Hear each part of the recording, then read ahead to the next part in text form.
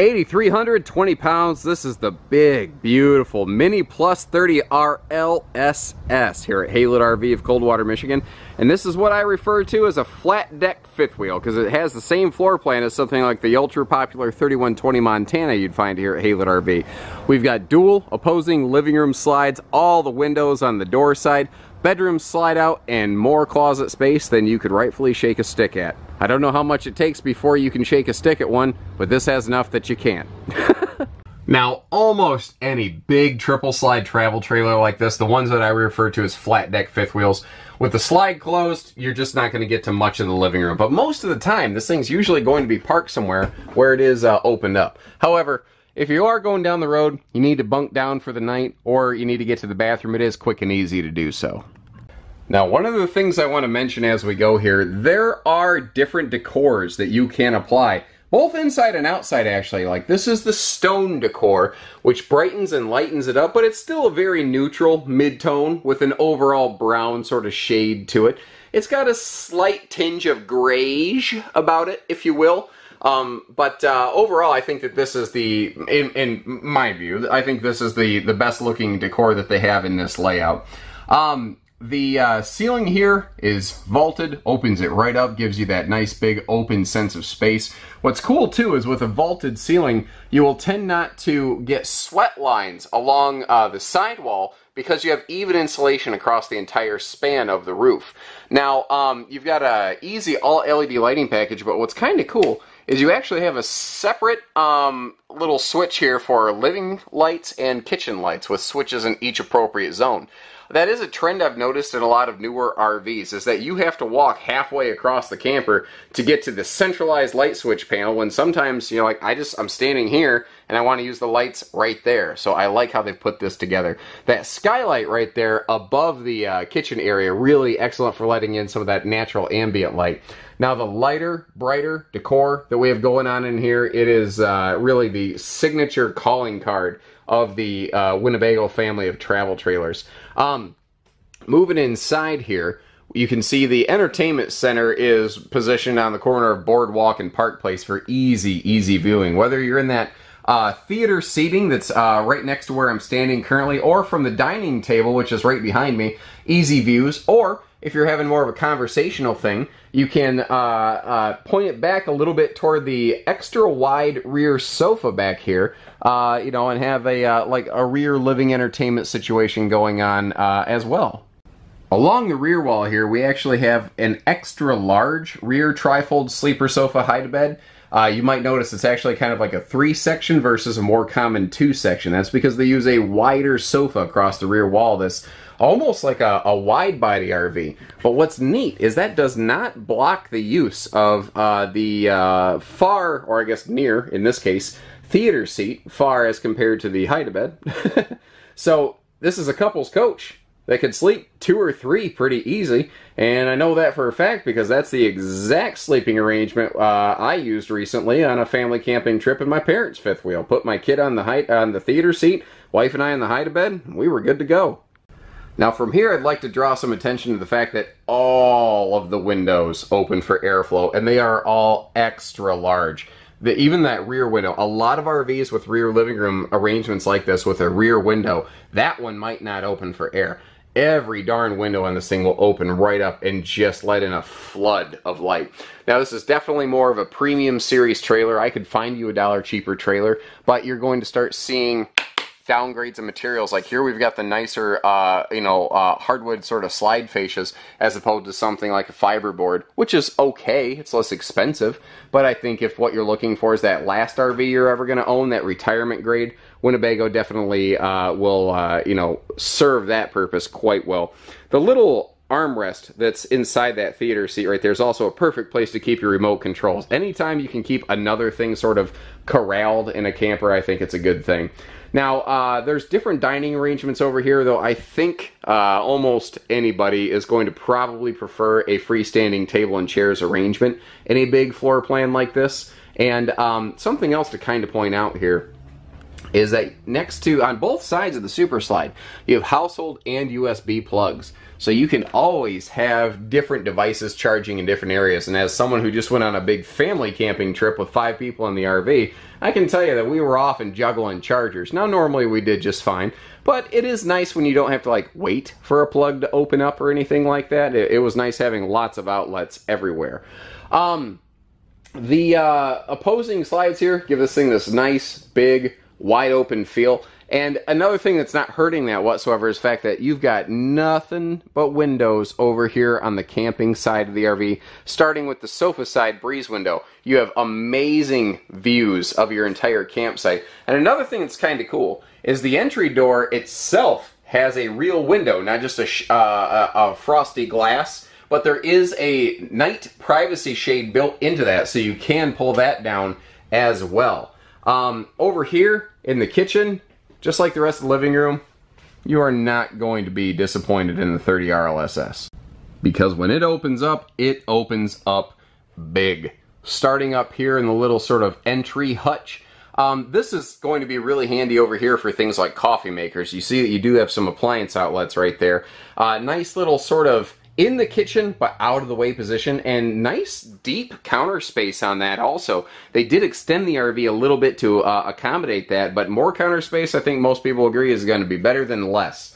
You've got real tile backsplashes in here and you can see we've got plywood boxed full extension drawers here and these are all hardwood framed uh, pocket screw cabinet door or uh, styles for longer lasting uh, construction we do have an 8 cubic foot gas electric fridge freezer, which is pretty common in this size and category. One of the things that you're not seeing here, though, um, it benefits both the kitchen and the bathroom, is the larger 10 gallon gas electric fast recharge water heater. This has the same size water heater as a giant luxury fifth wheel that you might find here at Haylett RV, and that is significantly larger. Uh, the, the vessel itself is, um, well, 67% larger than a normal water heater you'd find in a camper this class and category.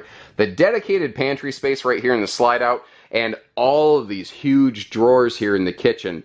Like I said, uh, when this thing opens up, it opens up big. They didn't go small on anything in that kitchen area. Kind of like the prep space. You can see the uh, solid surface counters here in the Minnie Plus um, that you won't find actually in the remainder of the Minnie family. They will have a thermal foil normally. The Minnie Pluses always have these nice uh, solid surface here, but the recessed sink and stovetop take your prep space from 10 to 11, basically. They just crank it up to 11. Quick look at the island before we move on. Uh, starts with a high-rise sprayer faucet up top, and you can see it's actually a uh, stainless double sink below, and they are very deep, large basins. I wanted to pull one of those covers off so you got a good look at it. Now down here, you've got huge space for like a, uh, a big wastebasket and more drawers. There are, let's see, seven, eight drawers in this kitchen alone. And that that is something that amazes me. There are many brands that will build a floor plan like this. And it's the details on like the kitchen execution, things like that, that will separate uh, these Winnebagos from a lot of the other guys. Um, moving up here to the bathroom, one thing I want to point out, well, first of all, you can see it's dual entry. You know, you can get to, uh, from the hallway here, you can get to it from the bathroom. Now, also, the bathroom is located right next to the main entry door, so it is there for quick and easy access. Whether you're traveling, or if you're just at a destination, it's nice to not have to, uh, you know, track a whole bunch of, like, dirt and debris through the camper the whole time. You've got a dedicated linen uh, cabinet right here in the bathroom, which is something, again, they had to make a little more space to accommodate, but they've done so, and it's it's worth every inch and every ounce of weight that it might have incurred. Now, the vaulted ceiling plus the smart positioning of that skylight will make this uh, tall person friendly even for folks like me. Um, the uh, radius shower also gives us some more elbow room in here. And then just the, the beautiful cosmetics on the remainder of the bathroom area here at Sharp. So this is the uh, thermal foil type countertop stuff I was telling you about in the kitchen area. And notice that even in the bathroom, they're still using a nicer stainless sink. And that is a large bowl stainless sink to give you plenty of room. A porcelain foot flush toilet kind of rounds out the bathroom, as does lots of legroom in here. Now, one thing I want to point out as we move up to the bedroom is how every doorway is fully framed in Winnebago trailers. They do that all the way through, even their their uh, little Micro Minnies, and it keeps the door jamb square. So like right now, the jacks aren't down. The door is going to open and close properly every time and not pop open in transit. Now this model is a queen bed only. There is no king option available on this one. So that is something I do want you folks to keep in mind. Um, that being said, it's also a deeper bed slide. When you go outside of an RV, I encourage you to kind of take note of that. Take note of the depth of the bedroom slide compared to the uh, slide behind it. And you'll see the Winnebago does use a deeper slide here, which means bigger windows there, and it means more floor space here for more open air accessibility, which I don't know if anyone that feels that's, you know, not a good thing. Now, in addition to that big, full 8 foot wide front closet, you've also got full easy lift access to the underbed storage here. And you've got a very cool, different, interesting thing going on in this closet over here. If you need to transport some exceptionally tall stuff, or if you just even need to store a couple brooms at your campsite, you've got a drop down uh, or flip up, as it were, shelf right here that can kind of cross the bridge between your front pass-through storage and your separated bedroom storage. Now, right across from the bed, obviously, we've got our a, a big six-drawer dresser here, as opposed to, you know, a, a dollar cheaper four. None of this is designed to be the dollar cheaper version. This is designed to be a dollar better version with uh, TV hookups across. So there are a lot of really key important features to, discuss out here, but one of the ones I want to tune in on real quick is the fact that you have different exterior skin options available on your Winnebago trailers. Um, this is a platinum. There could be a white, there could be blue, uh, you know, red, champagne, etc. So this video may not exactly reflect the specific RV that we have in stock. Um, case in point, this one was actually ordered by a customer with uh, one air conditioner and second air prep. When we would normally stock and build these, actually this is uh, this is a near identical match for how we would normally build them here at Haylett RV, save for the difference that we would typically build this floor plan with a second air conditioner pre-installed in the bedroom area because this is such a large RV. You have so much cubic foot of space to cool here. We think you want that extra uh, cooling capacity the owner of this RV, who had it built for their needs and wants and uses and whatnot, they kind of said, "I don't think we need that." My guess is they're gonna we're gonna see them back within a year and a half in our parts store, adding a uh, second air conditioner to it. Um, so your power awning right here, LED lights below and against the industry's highest grade fiberglass skin with the greatest mirror-like reflectivity of anything else you're going to find in this class and category. It will light up like a Christmas tree out here. Outside TV hookups. Um, Anti-slam entry door makes coming and going easy on this one. Uh, so that uh, if you uh, have your hands full and you flip the door, if the wind catches it, even this wider, longer 30-inch door doesn't slam uh, open or shut. And you've got the little screenshot auto close screen band here. But what's neat, and what a lot of people don't realize, you also have a screen door lock. Most people are like, what are you talking about? So this little handle right here, it's neat for opening and closing the screen door without having to slide the panel. But if you slide it open, flip it down, then slam it shut, you actually lock the screen door, which is really, really cool. Very nice if you've got a grandkid over for the weekend. The aluminum steps here, they're just physically more stable than uh, a less expensive steel step. They're also not slippery when your feet get wet, which is fantastic. Now, up here, this is that. Remember, we are just in the bedroom talking about the, the storage that can kind of bleed the difference between this huge drop frame fifth wheel style storage compartment up front here. And then this is actually the bottom of your hanging wardrobe closet, which is interesting. You can, and this is a nice little spot. You get to see the pocket screwed cabinetry in there. But if you do need to transport tall stuff, that will actually kind of flip up and sort of catch in place. So you can transport tall stuff or store tall stuff at your campsite. And you've got the uh, easier sort of compression slam latches to keep that sucker locked down. Now, uh, they've been building this floor plan for a while, but this new exterior decor package, I think the, the decal setup on this is just stunning. They've revised the, the Winnebago, uh, uh, you know, graphic on the front of it everything on this looks good. It almost looks like it has a little bit of a automotive grill on that lower decal there. Now, once again, you see how you do have that deeper bedroom slide here. They use the extra deep bed slide to give you a larger feeling bedroom with more floor space. So if the two of you wake up at the same time, you're not constantly tripping over one another, which is nice. Now, you see how um, normally all your outside baggage doors would flip up and magnet latch. That extra tall vertical door is just kind of an exceptionally different thing. Uh, 30 pound propane tanks for more time between fills, power awning and tongue jack, and something that you can't see from just a video like this is that they're higher grade awnings and jacks that move faster, last longer, higher grade motors on those. It's It gets you camping sooner and it breaks camp faster. It just makes life quicker, faster, easier. The uh, over here, we've got a simple side mount solar prep for portable panels if you want to move a panel around the campsite and chase the sun. It's nice to be able to park the camper in the shade and still be able to get some solar charge on your batteries. Private docking center up front here, very fifth wheel in nature. Again, this has a drop frame just like a fifth wheel.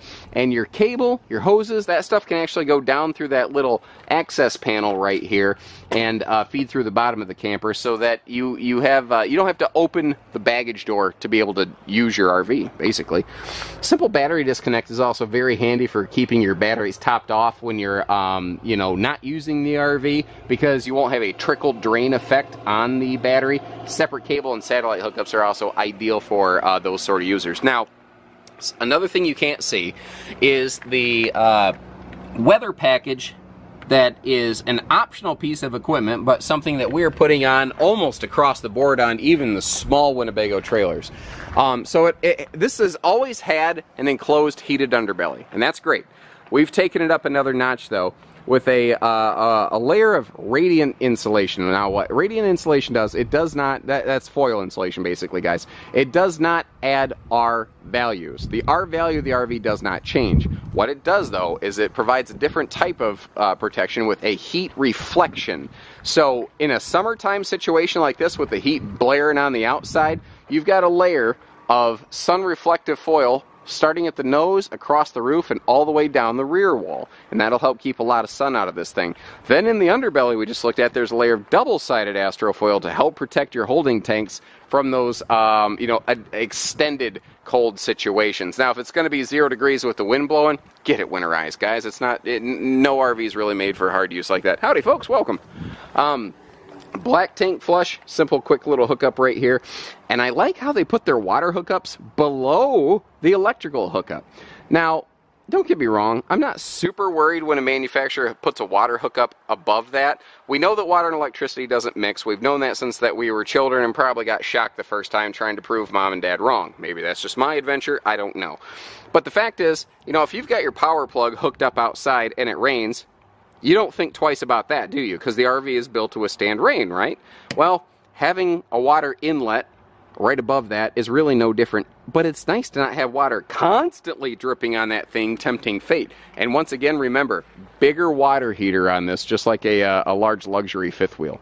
Um, let me back up here. These have four corner power stabilizer jacks, and what's cool is that each jack actually has its own individual button. They're not sort of ratcheted together. So you don't have to wait for the left side to come down for the right side. Now that's different from auto leveling. Those are two different things, guys. If you need details on that, then just give our team a call here.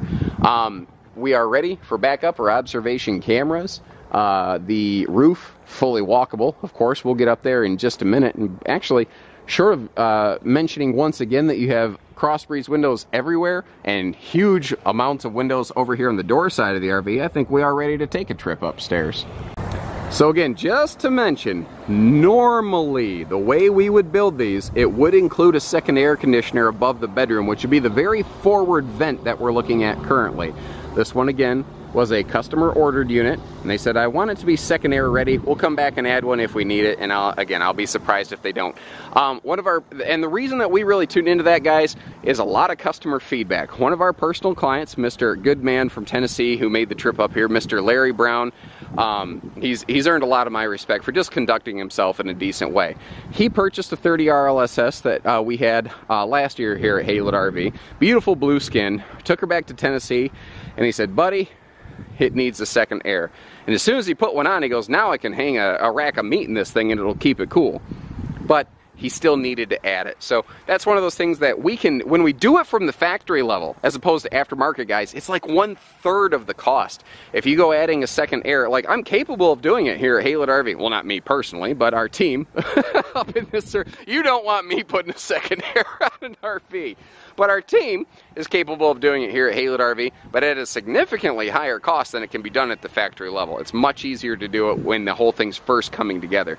Now, while we're up here, all kinds of heavy sealant. They're very heavy handed with their sealant at Winnebago so that you don't have any sort of uh, leak issues. And the King Jack antenna system here, I love this thing. You don't have to crank it up and down and all you have to do is turn it to the direction you want. But what's really cool about this thing, guys, is inside uh, when you are turning it, it actually has a signal strength indicator.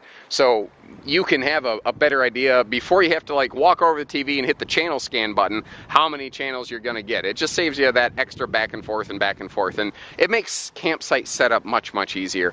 Now obviously we've got a full walk-on roof. I'm all over this thing. But this has a full aluminum skeleton, even the roof trusses. This is a full tubular aluminum skeleton frame which is how you can get a big triple slide camper with an extra deep bed slide that only weighs 8,300 pounds. Now, the question becomes half ton towability, and the answer is that depends. Do you have a really properly equipped half ton with a really heavy anti-sway system, um, you know, hitching system that we can apply for you here? The answer then is maybe. Would you be more comfortable towing something like this with a three quarter ton? Yes. And it's not because of the weight, it's because of the length. This is a long RV, ladies and gentlemen. And the longer the RV, the more inclined it is to push the vehicle around on the road.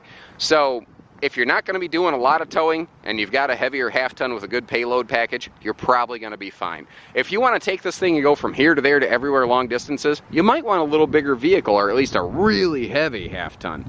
So that's just some general advice for you. It doesn't necessarily have anything to do with this specific RV, but I know that's a big question for towability out there. And answering questions like that before people even ask them, doing videos like this, that's what we do every day here at Haylett RV of Coldwater, Michigan. And that's why we have so many different brands and so many customers from so many different states coming in all the time. So you know, short of hidden fees that we don't do, we do everything else, whether it's hitching, pieces, parts, trades, financing, truck and trailer package deals, RV delivery, and everything in between. So take care, stay safe, have fun, and happy camping, everyone.